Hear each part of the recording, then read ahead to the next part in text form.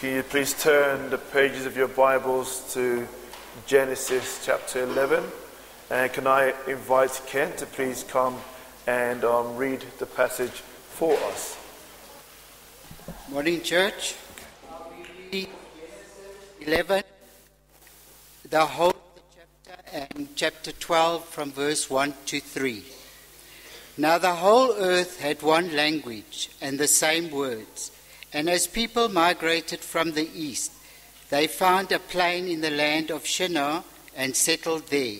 And they said to one another, Come, let us make bricks and burn them thoroughly. And they had brick for stone and bitumen for mortar. Then they said, Come, let us build ourselves a city and a tower with its top in the heavens, and let us make a name for ourselves lest we be dispersed over the face of the whole earth. And the Lord came down to see the city and the tower, with the children of man, with the, which the children of man had built. And the Lord said, Behold, they are one people, and they have one language, and this is only the beginning of what they will do, and nothing that they purpose, propose, will to do will now be impossible for them. Come, let us go down and there confuse their language, so that they may not understand one another's speech. So the Lord dispersed them from there over the face of all the earth, and they left off building the city. Therefore its name was called Babel, because there the Lord confused the language of all the earth, and from there the Lord dispersed them over the face of all the earth. These are the generations of Shem.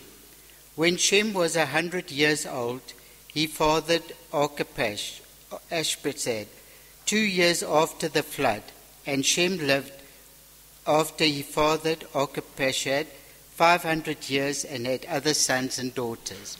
When Arpachshad had lived thirty-five years, he fathered Shelah. And Arpachshad lived after he fathered Shelah 403 years and had other sons and daughters. When Shelah had lived 30 years, he fathered Eber. And Shelah lived after he fathered Eber 403 years and had other sons and daughters. When Eber had lived 34 years, he fathered Peleg. And Eber lived after he fathered Peleg 430 years and had other sons and daughters. When Peleg had lived 30 years, he fathered Reu.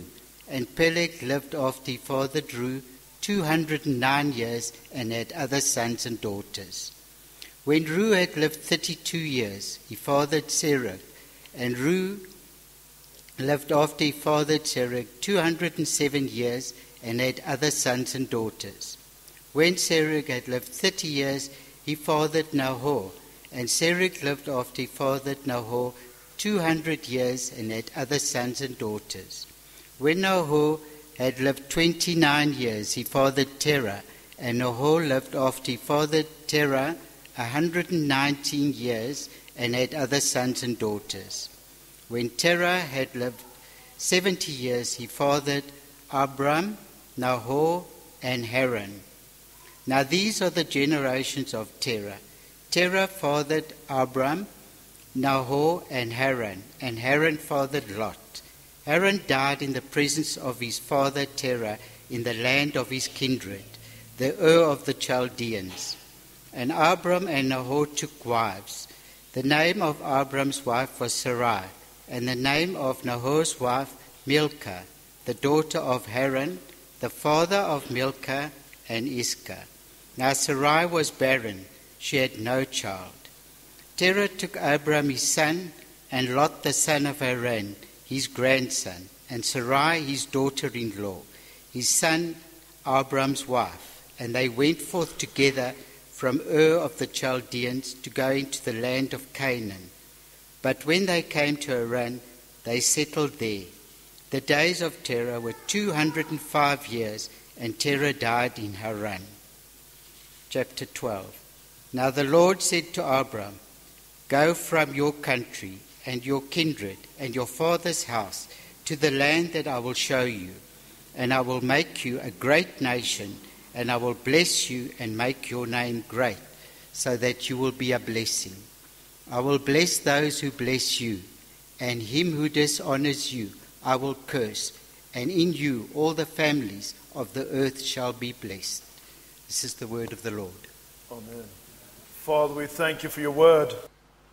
For through your word, Lord, you created the heavens and the earth. You sustain all of creation. You brought about the work of recreation so that sinners like ourselves may be born again to new life in your kingdom. And not one part of your word shall pass away till all is fulfilled. And we are the custodians of your word today, the Church of Jesus Christ. And we pray now in this hour that your word would go forth, would, would grant us to attain knowledge, understanding, and wisdom to live out these truths. That in our living, Christ may be exalted. So, through the person and work of the Holy Spirit, may we all behold Christ crucified in this time. May we see the beauty of your, your saving work through the ages. In Jesus' name we pray. Amen. God is dead. Nietzsche wrote a piece. Now, Nietzsche was kind of like a philosopher, writer in the 19th century. He didn't coin the phrase, he popularized the phrase, God is dead. You've seen some people even have t shirts, God is dead. You hear people today proclaiming, God is dead. And in this piece called The Madman, I, I, I recommend you to, to read the work in a portion called The Gay Science, not the way we understand the word gay today. It's got to add a different meaning back then. In section 125, 125, listen to this quote. My apologies, um, I couldn't get it onto the screen. But listen very carefully to this quote God is dead, God remains dead, and we have killed him. How shall we comfort ourselves, the murderers of all murderers? What was holiest and mightiest of all that the world has yet owned has bled to death under our knives. Who will wipe off the blood of us? What water is there for us to clean ourselves? What festivals of atonement, what sacred games shall we have to invent? Is not the greatness of this deed too great for us? Must we ourselves not become gods simply to appear worthy of it? Close quote. You had a period, both in the church and outside of the church, especially in the 19th century. Within the church, it was by a German man called Friedrich Schleiermacher. But there was a movement of the Enlightenment, they called it, in those days. An enlightenment because we now see what's, what's really true. And the Enlightenment movement, especially with regards to religion or the Christian faith, did away with all the supernatural aspects of the Bible. And the effects of that are still being seen largely in the Western um, part of the world today. It's what gutted Christianity in Europe at that time. And we are still reeling from the effects of the Enlightenment to this day. Simply put, it's man's way of saying we know better than God. In fact, there is no God. If you want to believe in God, it's fine, it's okay. But we all know there's no God. There are men, and sadly, women, with dog collars in Europe today who profess to be, get this, ministers, Christian ministers who don't believe in God. And people like Nietzsche popularized this phrase, God is dead. And he actually, he makes a good point. Nietzsche sees something that sadly, I don't mean to be rude, but deluded Christians who reject the truths, the central truths of the Christian faith, who call themselves Christians, but reject the Word of God, reject the authority of the Word of God, reject the truths in the Word of God, yet still call themselves Christians. Nietzsche understood something rightly. Did you hear what he said? This is a great thing because he understood rightly that Christianity was the central pillar, but not just pillar, but foundation right from the time of the Romans. Everything that we valued in Europe, everything that made sense, all morality was uniquely derived from the Bible, from the Word of God. You see, Nietzsche recognized the crisis that this death of God represented for existing moral assumptions in his day. The assumptions in Europe as they existed within the context of traditional Christian belief. Listen to what he also says here. Nietzsche wrote here. Let me quote this for you. Listen to this. Please listen carefully. When one gives up the Christian faith, one pulls the right to Christian morality out from under one's feet. This morality is by no means self evident. By breaking one main concept out of Christianity, the faith in God, one breaks the whole. Nothing necessary remains in one's hand. This is why, in that, unquote, this is why in The Madman, a passage which primarily addresses non theists, especially atheists, the problem is to retain any system of values in the absence of a divine order. So, in other words, have you ever heard the phrase, there's no center? The phrase there's no center means we can't know what's right or wrong, what's good and evil. It is subjective to you. Whatever you, as an individual, decides is right or wrong, then that's right or wrong. But, church, it's a lie from the pit of hell. People are being disingenuous and they're lying to you, and all these academics and elites that are writing this stuff, they themselves would, cannot live by what they're writing. They themselves understand, like Jacques Derrida, the French atheist philosopher. I like him. You know why I like him? He rightly understood if you take God out of society, how do you determine anything? An atheist. The problem of man, and we've seen it here in our own society, is that man has proclaimed himself as God. Man has said, We will decide what's right or wrong. But you see the problem.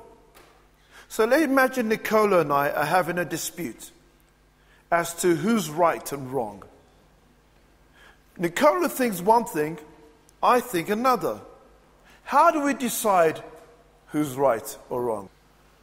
Well, you know what usually happens? The stronger person beats the weaker person. That's human history. One person imposes their will on another person. If there's no right or wrong, who are we to incarcerate anybody in prison. Right?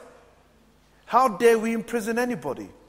If there's no right or wrong, if there are no absolutes, we call it absolutes, then how, who gives us the right to lock up anyone? Why are we disgusted when a spouse cheats on, on their partner?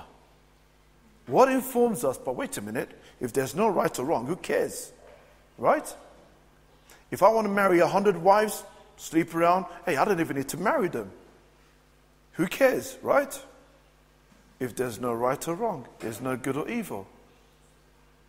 People like Richard Dawkins, if you ask them, is rape evil? They will not answer you because it destroys their philosophical premise that there are no absolutes. But do you think they believe that? No. You see, people like to propagate these things because it allows them, listen to this, this is what it comes down to. It allows them to be able to live and do whatever they want. That's all it is. I know, because I've counseled people as a Christian minister. And when you begin to touch the heart of some people's matter, you know what they do? Turn around to you and say, Don't tell me how to live my life. I'm like, No, God's word says it, not me. Don't tell me how to live my life. Why? Because people want to do whatever they want to do. They want to enjoy whatever they want to enjoy. Sadly, we see that in the church as well.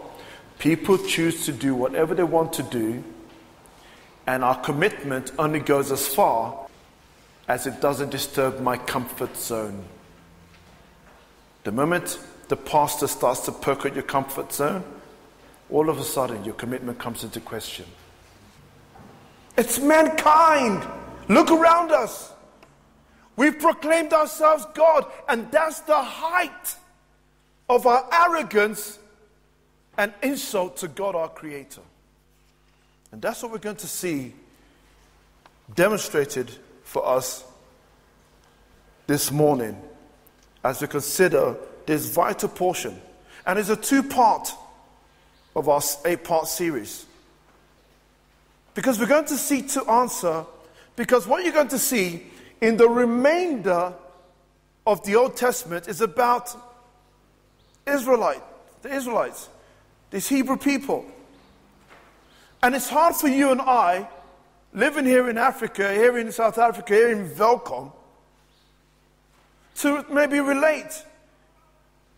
How does this history laid out for us in this book how does that relate to us? How should we see it? How should we understand it? And how are we to adopt a, uh, this worldview? Don't forget, that's the purpose of this whole series that we understand the overarching story, that we may adopt a biblical worldview of looking at things. How does it all play out? Well, I'm hoping to lay some foundations today, very crucial ones, coming from the broader spectrum of all mankind and then narrowing to the Hebrews. And it's going to be a big job next week. It's going to be in one sermon taking you through the whole of the Old Testament. So we've seen already, haven't we? Men created in God's image to represent God, to rule in God's or rule under God on this earth as under kings or vice regents. And we've seen man was created in such a way, remember we spoke about the four states? So Adam, who was able to sin, but he was able also not to sin. This is big theology, by the way. I've, I've simplified for you. It's massive theology, and it's very interesting. If you're ever bored and you want to know what it's all about, just come and knock on my door. Able to sin, able not to sin. But we all know what he did, didn't he? He sinned. But now, the age we're li- all through, we're going to see throughout all of the Old Testament and right up to now is man not able not to sin. All he can do is sin. Why? Ephesians chapter 2, remember that? Verse 1, 2, and 3. He's dead in his trespasses and sin. He's got three problems the devil, the world, and his own flesh. He's bound by his nature. He is what he is. He sins. is not the sins that make him a sinner. He sins because he is a sinner by nature. Is what he is. He can't save himself. He can't deliver himself. But praise God, remember verse 4 of chapter, Ephesians chapter 2. But God, who is rich in mercy, right, brought salvation through Jesus Christ. We are saved by faith through, by, by grace through faith. There's a group of people who are now able not to sin. That's you and I. And some of you are going, Phew. but that's true though. In Christ, we are able not to sin. That's the truth. Do not believe the lie of the devil. Do not believe, believe the lie of your own flesh. Do not believe the lie of, of other people. The Bible tells us we have the Spirit of Christ. We are able not to sin. We still sin. We are able not to sin. We're able to resist the devil. We're able to resist temptation. But it's coming a day when we, we will be unable to sin. Amen. Amen, indeed. Yes. I look forward to that day when cake will be legal. Hey, everybody has their hope. I'm just, I'm just speaking mine out loud. Don't forget this. Important to remember this picture. Man has these four areas of relationship. And it was a good, it was a good thing. We're created good, always good, very good. Our relationship with God, man fellowship with God. He was at peace within himself. His relationship with his other humans was, was wonderful. And also with the world around him. But because of sin, his relationship with God is now corrupted, which results in war within himself, which also results in broken relationships. We all know about this, but also is at odds with the creation around him. And all of this is a result of the fallout of sin. And what we're going to see over the next, I mean, you could categorize the whole of the Bible under these four headings. We saw it, remember, in Genesis, when we studying Genesis. Creation, you got the fall, you got redemption, and then restoration or the recreation. If you, if you remember those four things, he'll help you honest, give a, a, a good guide as to categorizing the whole of Scripture under these headings. But the story of God is about the kingdom of God. Never miss that because you're going to see in a few weeks' time when Jesus comes on the scene, he's talking about the kingdom of God. It's all about kingdom. And he's reminding us and pointing us back God is king. So we saw last week, didn't we, how. Um, oh, and this, this is a little bonus. Remember the story arc thing? Pastor Louis, aren't you disappointed? You really, really are disappointed with all you. We spent so many weeks, week, every, every week, over seven weeks now, Pastor Louis. He showed this thing.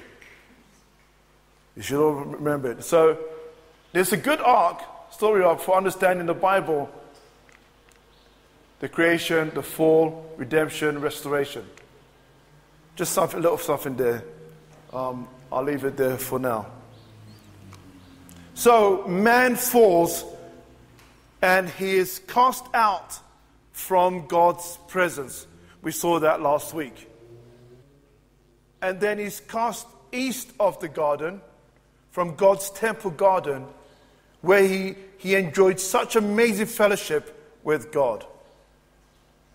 But what happens after that is very interesting. And Genesis chapter 1 to chapter 11 are very crucial passages. I call them the, the foundational blocks of redemptive history. If you want to understand even the arc of history, pay attention to the flow of events from Genesis 1 to Genesis chapter 11. You will see that we are now living in the age of Genesis 11. You'll agree with me, you'll see by the end of today, hopefully. This morning, we're going to consider just three headings briefly the reign of sin, the chaos of sin, and the pride of sin.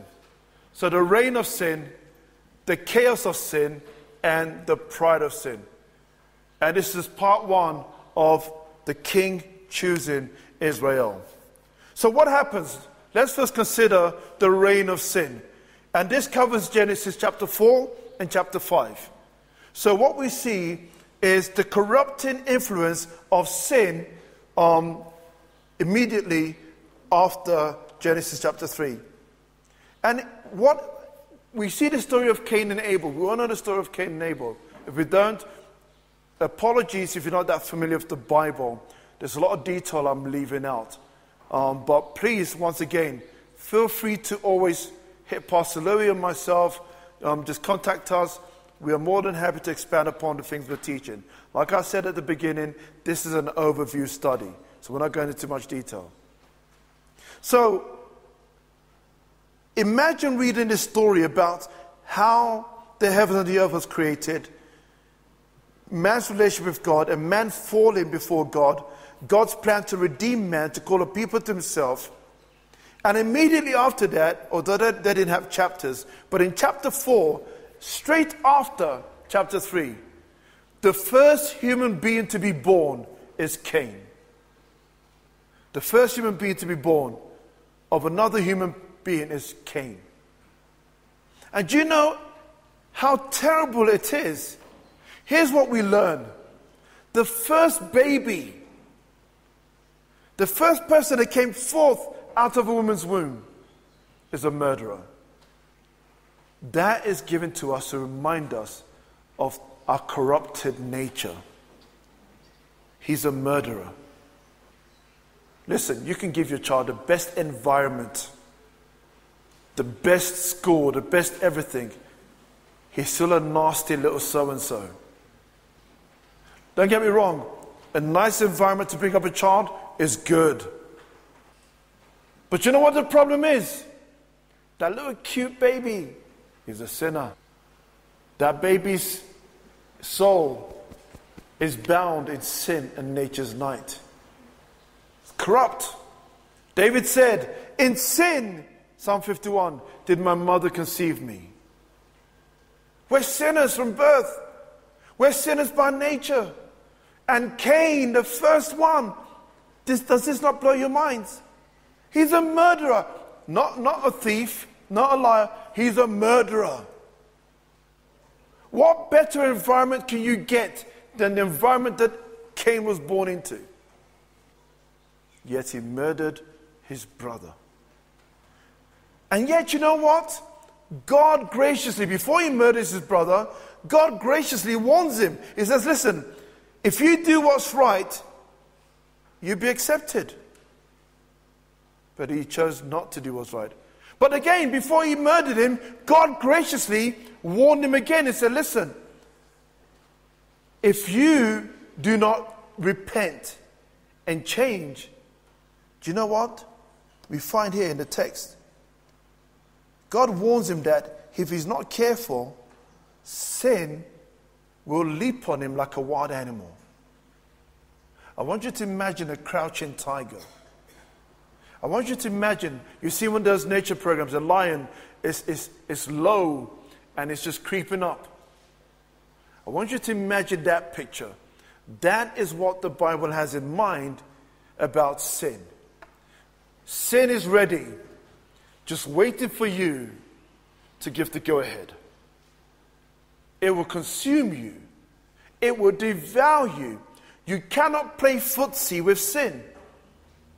You cannot play with the edges or blur the lines of sin. You will always lose. It will consume you. It's like when I used to counsel young people and about dating, and they'll ask the question, How far can I go? You can't go far at all. Because you're playing with the edges. You're playing with the lines, you're playing footsie. You will lose. 100% you will lose. because, like a wild animal, it will pounce. So, what we see is that the family that God means to be a source of companionship and joy has become a place of jealousy, rage, and murder. Yet God does not, graciously, does not destroy them. Man is still alive, they're living on. And we see this with Cain. Cain is showing some level of mercy. He goes out and he finds a city. And he names that city after his son, Enosh. Enoch, sorry. And we see again in Genesis 4, um, verse 17 to 22, cities and culture have been built. And yet, despite the corrupted nature, man is still fulfilling God's mandate to fill the earth, to expand, but also to explore, to enjoy the arts, engineering, and all of these things, music, and so on. These are good things. Some people want you to believe rural places are good, cities are bad. Yeah, a lot of bad things happen in cities. But I, again, feel free to disagree with me. I don't think that's what is being communicated to us. Although it's talking about Cain's line, I don't believe that's what's being communicated. I rather think we're seeing mankind fulfilling the mandate to rule and subdue the earth. And then we see in chapter 4, verse 24, evil Lamech of the line of Cain. This guy is a murderer too. But guess what? He's the first poet we have recorded in the Bible. We like poetry, right? But here we are, the first poem we read in the Bible, or we have someone, the first poet, is a murderer and a boastful one as well. And he's the first person to marry two wives, by the way. He says, Hey, if Cain is regarded like this, wait, well, the way I killed a man, I'm bigger than Cain. He boasts in his evil. But what's the point of all of this? Is to show us the de- degrading effect of sin. And this is shown in chapter 5. Look in your Bibles in chapter 5 quickly, Genesis 5. Just have a look there. I want you all to see something. You see the pattern, right? In chapter 5? There's some things repeated again and again. It jumps out at you. Can you see it? Especially one phrase in particular as a, a refrain again and again. See, and he died. Thank you. Here's, here's the summary Moses given to us of Adam to Noah.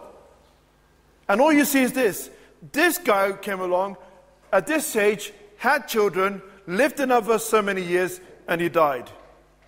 Then the next guy, same thing, lived to this age, had some children, then he died. And on and on, and he died, and he died, and he died, and he died, again and again. That's purposely put there so as we read it, we are confronted with our own mortality. In fact, Seth, back in chapter 4, end of chapter 4, Seth, the one they had after Abel was killed, he has a son, and his name Enosh. You know what Enosh means? It means it can, three options man, it could mean a person, but it also means this to be mortal. And the idea is this when, when Seth names his child Enosh, he's not just calling him man, but he's actually saying this human beings are terminally ill. We're, we're just going to keep dying. That's the idea. We die. We're born, we die. We're born, we die. Is he lying? Because all of us here are going to die. 100%.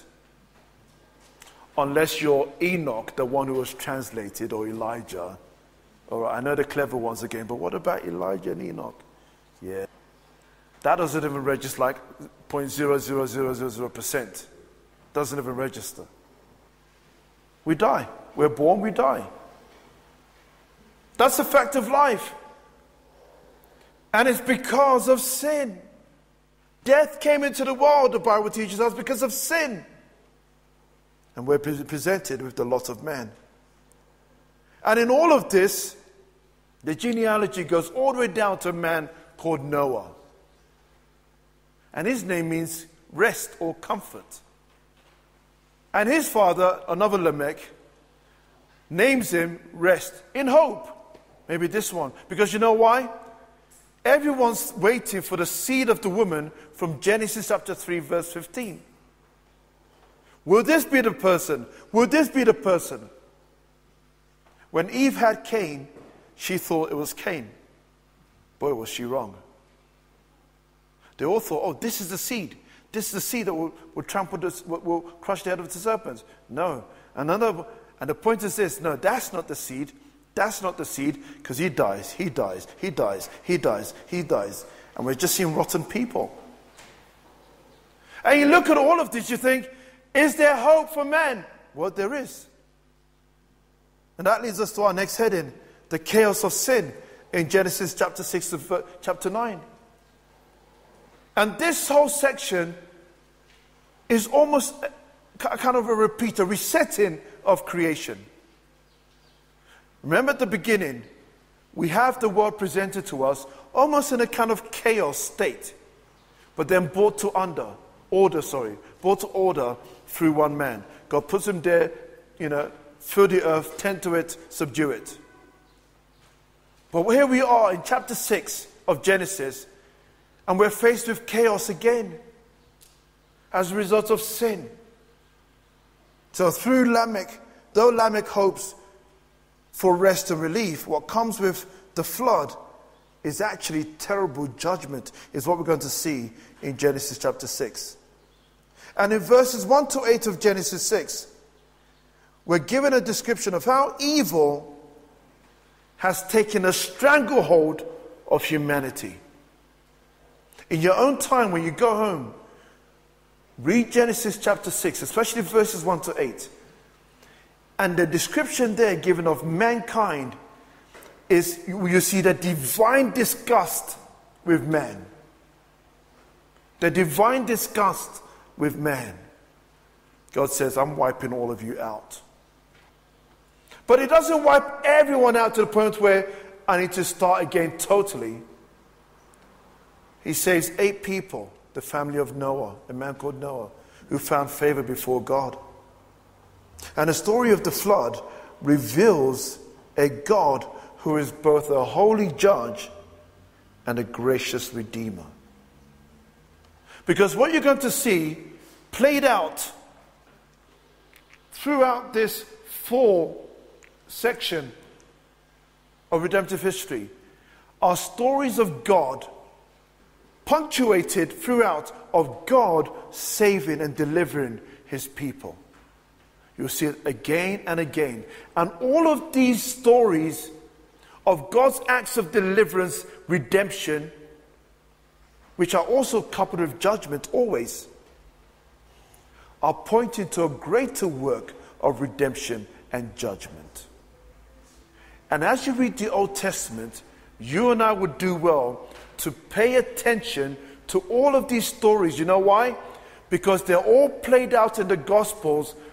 You need to make sure that your mind is saturated with these stories and with certain characters in the Old Testament, because when you get to the Gospel, you will have hyperlinks that remind you again and again of what has gone before. And the writers of the gospel and the New Testament, they purposely do this because they want you to see that it's one story, it's a continuation. So God says to Noah, I'm going to keep my covenant with you. I'm going to make a covenant with you. So we all know the story. Noah, build the ark. Get in the ark. I'm going to bring flood in the rain. The flood comes whoosh, and it wasn't so, it was much more than whoosh. So raining for 40 days, but it took over a year for the rain to kind of reside and so on and go away. And at the end of this, in Genesis 9, God renews his covenant with creation through this person, Noah. And God tells Noah that he will establish his covenant with him. And covenant here refers to an already existing relationship God has with mankind. Very important to remember that. And let me give a definition of covenant you can always remember. Um, a man called O. Palmer Robertson gave a good short description of covenant. Covenant means this a bond in blood sovereignly administered. A bond in blood sovereignly administered. Let me repeat that. A bond in blood sovereignly administered. And the point is this, and again, covenant is something that plays out throughout. Pay attention to the covenants you see in the Old Testament. All of this plays out in the New Testament. If you miss it, you miss a lot of what's going on. And the point is a bond in blood. A bond is this it, it, it gives the impression of God binding himself to a people. I'm tying myself to you. I am binding myself to you. And blood, as they did in those days, if you're going to make some kind of treaty, you had to shed blood. A sacrifice or something was, was made. But also, sovereignly administered means this. Very important, don't forget this point. God is the one who's initiating the covenant, and He's the one who will fulfill it ultimately. So God says He's going to enter the covenant with Noah. And Noah was, in a sense, the new Adam. Because look at the words. If you look in Genesis 1.18 and Genesis chapter 9, verse 1 and verse 7, it's the same instruction to do what? Be fruitful and multiply and fill the earth. God tells Noah. So humanity starts again. Yes, if you're reading that for the first time, you think, hey, this is good. But it doesn't last long, does it? Because then we read Noah, this righteous man, is a bit of a drunk. And some of it, uh, one of his sons is a bit of a nasty little fella. Now, we don't fully understand the grave sin of Ham, what he did. I mean, the nakedness part, what maybe is a euphemism for something else, we don't know. But we understand it was something bad that grieved Noah to the point where also cursed um, his grandson, Canaan. So again, we see man growing, evil continuing, sin continuing, the effects of sin being felt. But the height of this brings us to our third heading the pride of sin. And this is what I want you to really pay attention to. So in Genesis chapter 10, it tells us of the world's nations emerging from the sons of Noah. But sadly, this story doesn't go too well either. Do you know why it doesn't go too well? Because of sin. The writer wants you to know of sin's effect, of sin's effect in man and its corrupting nature for all men, but also more than that, our need for deliverance from sin. I don't know about you, but there are periods in my life when, I, especially one in particular, where I seriously, man, I was backsliding. It was bad. Do you know one of the things that got me in that period? One thing that hit me, one truth that still me today how tiring sin is. If you don't know that, you, you don't know sin too well. I, I kid you not, I don't mean to be um, funny. Seriously, sin is tiring. You need energy to sin and to maintain a life of sin, especially when you know you're living contrary to God's will. It's like an assault on the mind, again and again. And that's what they want you to feel here. Like, oh, not again. Because now, in Genesis chapter 11, we all know the story of Babel. Well, most of us should. If you haven't, read that passage again. We had um, Uncle Ken read that out for us. Thank you once again. Genesis 11. And the story of Babel, don't miss this, church. is very important. The story of Babel is a monumental, it's a monumental, communal attempt by Adam's race to wrest human autonomy from God. It's man's attempt, once again, to say to God, We are kings, we'll be our own gods. Isn't that what we're seeing in the world around us? God is dead. There is no God. And even if there are gods, is a God of our own making. And that's what the point of this story is. And I'm telling you now, history is following the same trajectory as we're seeing in the first 11 chapters of Genesis. When man presents himself as God, what's going to happen with the Antichrist? Same thing. It's going to be an affront to God. It's man taking his finger and sticking it in God's eye. Babel means actually in ancient Mesopotamia, people don't know this, Babel actually means the gate of God. So they used to build these things, these ziggurats. You've seen them, they're like a um, pyramid. And they would have at the top this thing where they put a table for the gods to come down and feast, and a place for the gods to, to rest from the long journey of coming down. So these people said they'll build such a thing, and they reached up to the heavens. But the point of it really was to make a name for themselves. To make a name for themselves. To invite the gods of their own making. Because people still had the knowledge of God. People still saw the story of creation. But also, people chose to reject the truth of God's word and the truth about creation. And they made their own gods and made themselves God. And that's what we're seeing here in Genesis 11.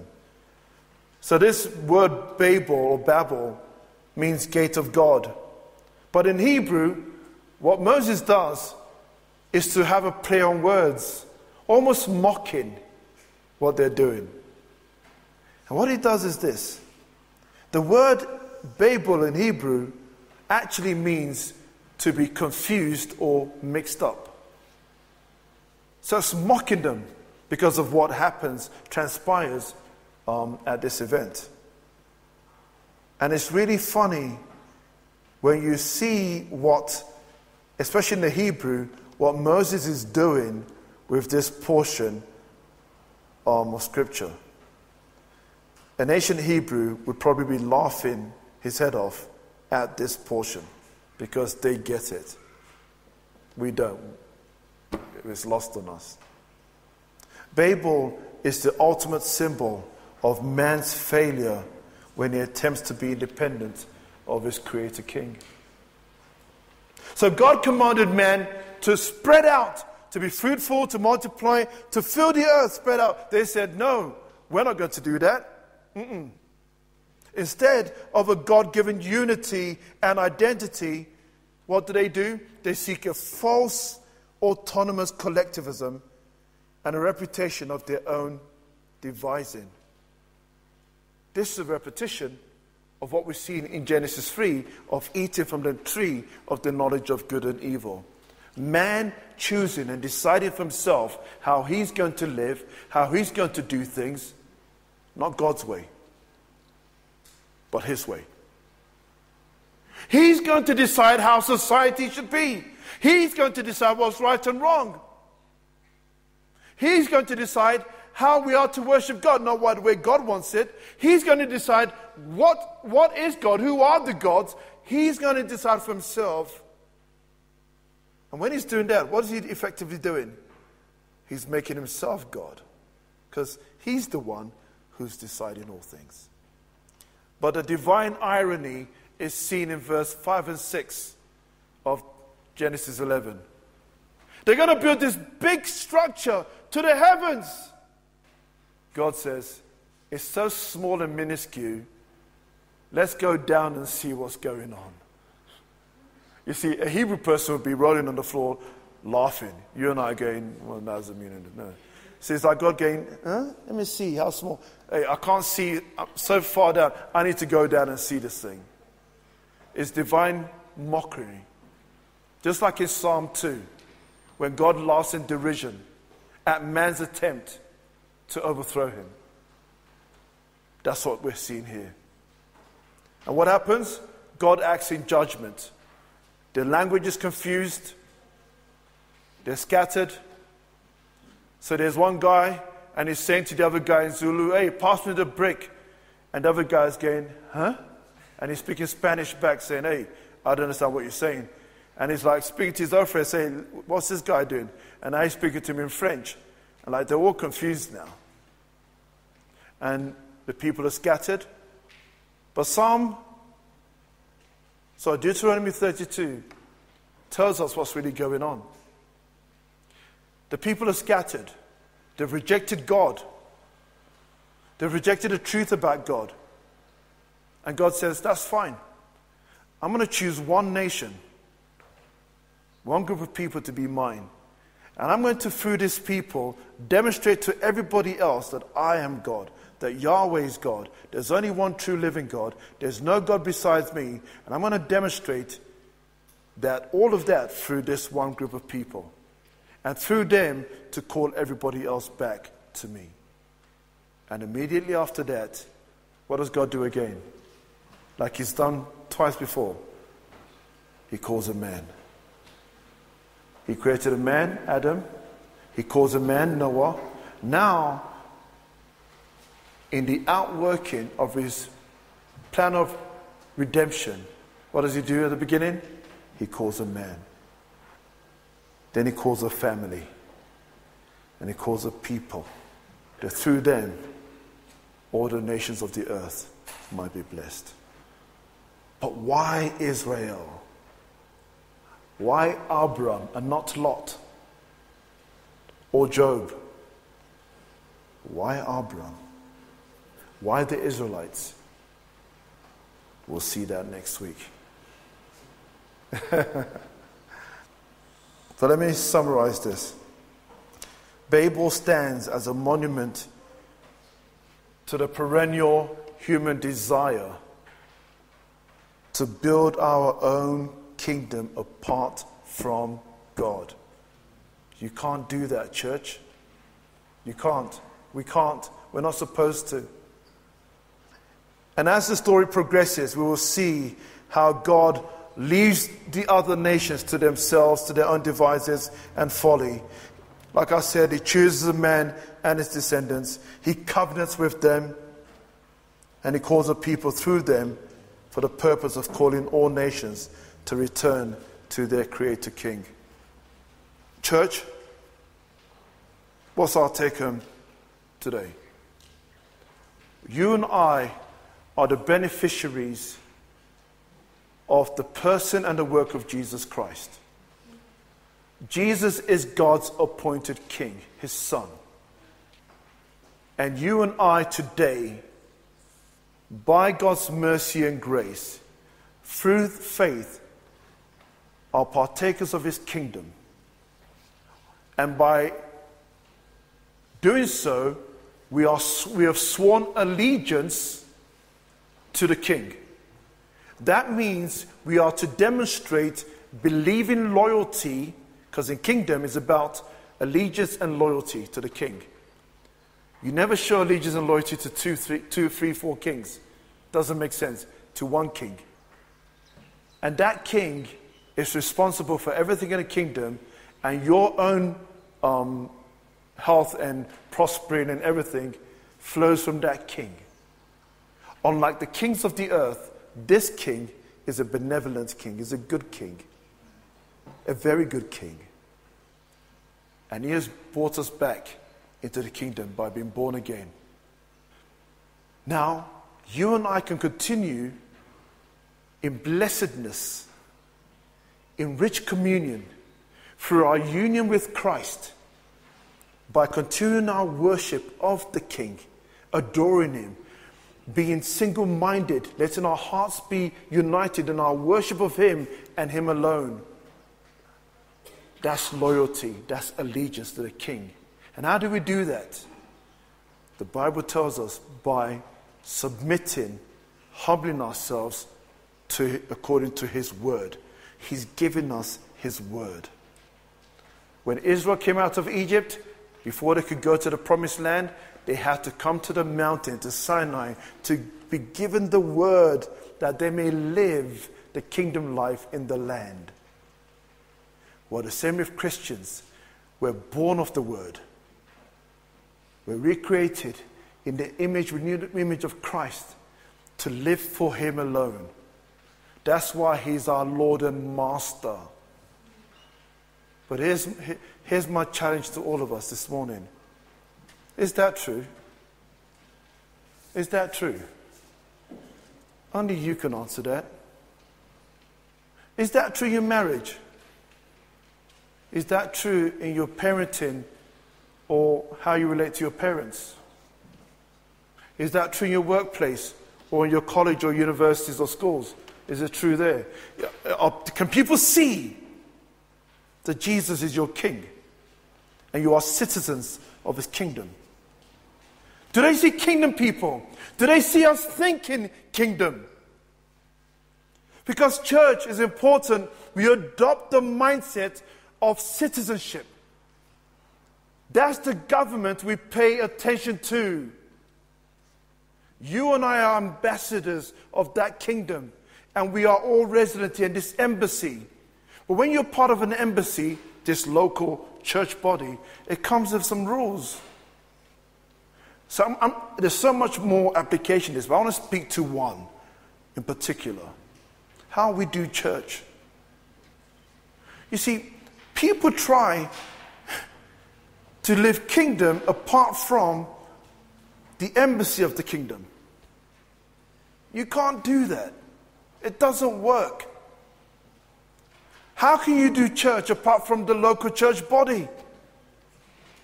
I don't know how you do that. You can't do that. We can't do that. It's a contradiction. If you walk out of here, despite hearing all of this, please, the point is you go home and you think about the ramifications of what we've been talking about. That's why we provide so much information and still choose to do your own thing, you are living the life of Babel. You are deciding for yourself how things are going to be. You are choosing to be your own God or to worship a God in your own image. In an image that looks like Ken, that looks like Jabu. No. Only one, Christ. And if you're not plugged into what we're trying to do, it's not my church. Can I say that? How many times can I say that to us? It's not my church. Oh, man, it's not my church. It's not Joshua's church. It's not Louis' church. It's Jesus' church, the King's church. And this is the local chapter of that church here in Bedelia. And he calls you and I to abide by certain dictates in order to function rightly as the embassy of the kingdom of God here in Welkom. But if you stray from the mandate of the king, you are in violation of the rules that govern embassies and ambassadors. You are what we call rogue. You've gone rogue. You're a rogue ambassador. You're not representing Jesus, the king, anymore, but yourself. And you know what the kingdom does? It says, we don't recognize that guy. Church, let's be church. What's the hindrances that's, that's stopping us from being church? Let's, let's deal with it. Let's talk about it. But there's, the, listen, I'm going to finish with this. Nowhere in the whole, in the corpus the body of Scripture, nowhere in the whole of the Old Testament and New Testament, nowhere does the Bible recognize a Christian that seeks to be a disciple and live and thrive and flourish apart from the church. To do so is to worship a God of your making. And you are in direct violation of the Word of God. Let's heal. Let's heal. Let's restore. Let's come together. May God grant us the wisdom in how to do it. Amen. Let's bow our heads. In your own heart, there, please let each one consider their role within God's kingdom and how we live unto ourselves in violation of God's word in many aspects, not just with regards to the local church, but in, in, in, every area of our lives. That we will not be living the life of Babel, building monuments to ourselves, living to ourselves to make a name for ourselves, all apart from God, apart from Christ. Let's confess it before the Lord in your heart. Let's confess that anywhere which we've been undermining the, um, each other, the work of the church, and, and other areas of our lives. We've been undermining Christ, we've been undermining the kingdom.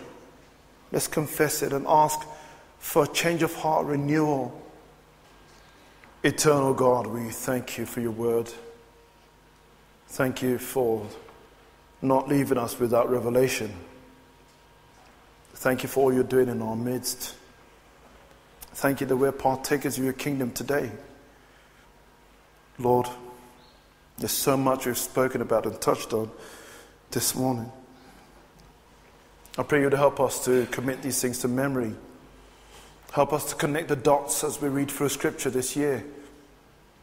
Help us to make the links and to, to, be, to marvel at the beauty of, of Scripture and all that you've done through the ages throughout redemptive history. And Lord, may us in, in, in turn, because of this joy, pursue you more and above all else. May we, before a lost and a dying world, live a life of kingdom. Let us have a mindset of kingdom. Let, let the choices we make be kingdom. Let them, let them ref, reflect truly that Jesus is our King. Forgive us when we've lived to ourselves. Forgive us, Lord, for building our own kingdoms. Forgive us for setting other things before you. May you be at the may, may you be the foundation, the center, the rock of our own peace within, of our marriages, of our families, of our local church congregation. We ask all of this in Jesus' name. Amen.